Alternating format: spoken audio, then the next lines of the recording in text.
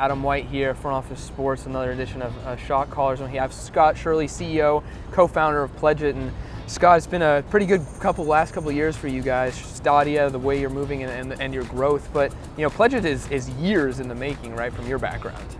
Yeah, I mean, like any overnight success, right? Um, you know, the, the story really begins a couple years ago whenever uh, Devon Still was playing with the Bengals.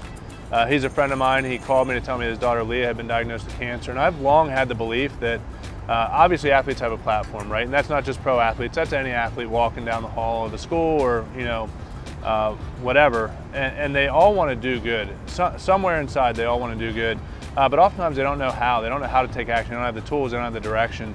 Uh, so I pitched the idea to Devon to run a sack cancer campaign uh, where Bengals fans could pledge for every sack, and, and we created Pledge It for him to, to do that and, and engage and mobilize the Bengals fans. And it was a tr tremendous success and, and really just kind of took off from there. And, and as you look from what it was then to what it is now, you know, what is that overnight success or what does that evolution you know look like? Yeah, so obviously, you know, we're built by athletes for athletes and the origin story, you know, we literally built the product to to meet Devon's needs, to solve a problem that he had uh, that's shared by, you know, at this point for us, hundreds of athletes. We have over 600 pro athletes that use the product the same way that Devin did.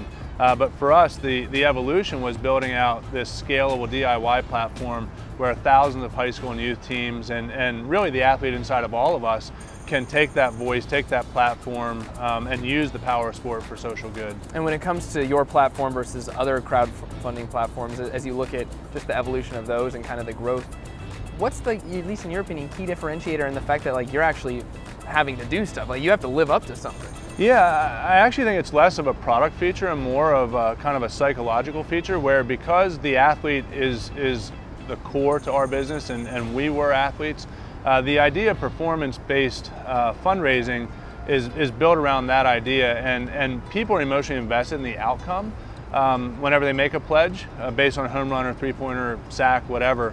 Um, and it's because of that emotional investment uh, that they're engaged throughout the entire campaign. And that creates this really cool, unique, authentic content and this relationship between the athlete and the, uh, and the fan. And, and, now as we've seen a lot of this shift, right, especially from a marketing standpoint, uh, just read something today that even though there's going to be an economic recession downturn, that CMOs are expecting to have more money on their bottom line. Uh, but a lot of that, and we've seen the shift, is more of a cause marketing standpoint and aligning with things like this. And I know you guys, NFLPA, New Balance, uh, American Cancer Society, how has it gone from just being the athletes doing something for themselves and like wanting to, to make an impact to now athletes and brands getting together and doing it for more than just Yeah, one? I think uh, New Balance is a great example of that. Uh, again, with it being athlete driven, um, there's an authenticity that comes with that.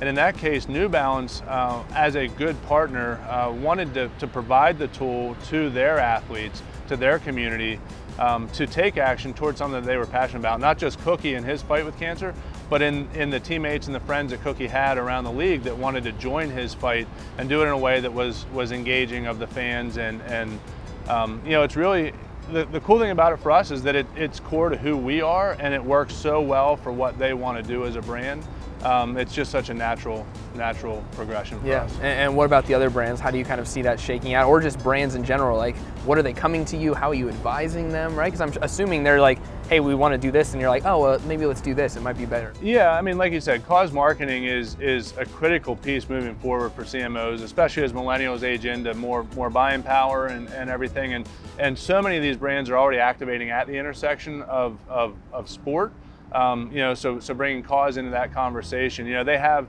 Uh, you know, they have their athlete ambassadors, you know, like the American Cancer Society and the three point challenge, the Coaches versus Cancer, where they work with high profile basketball coaches. It's a way for them to actually engage people to take, take a real and tangible action.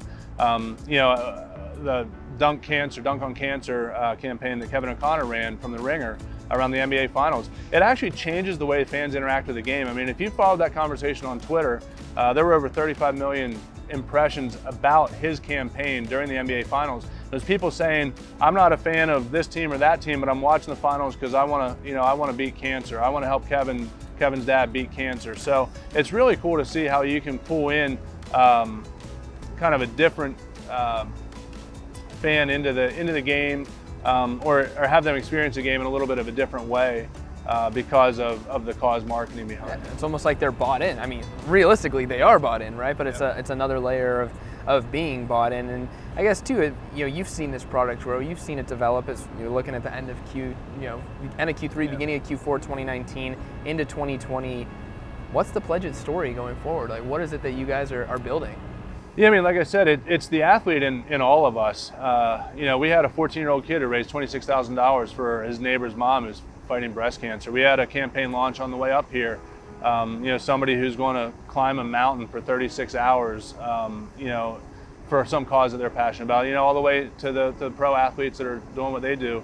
And, and being able to bring brands alongside of that because of the authentic storytelling and, and that, the level of engagement that we have, um, you know, we're, we're just really excited about what the future looks like. You're only, I'm assuming, just tapping the top of the iceberg, right? There's probably a lot more there. I yeah. mean, for you, like, what's what's the ideal situation, right? Is, is it you have someone who comes to you from a team side and a player side, and they bring you an idea, and then you're like, hey, we have a brand that we can match, or, or they come to you, com, com, you know, together? Yeah, it, it can happen anyway. I mean, the, the dream for us is that, that every athlete, you know, whether you're a pro, high school youth, or, you know, you or I, we're putting the product in their hands to change the world um, in the way that they're most passionate about doing so.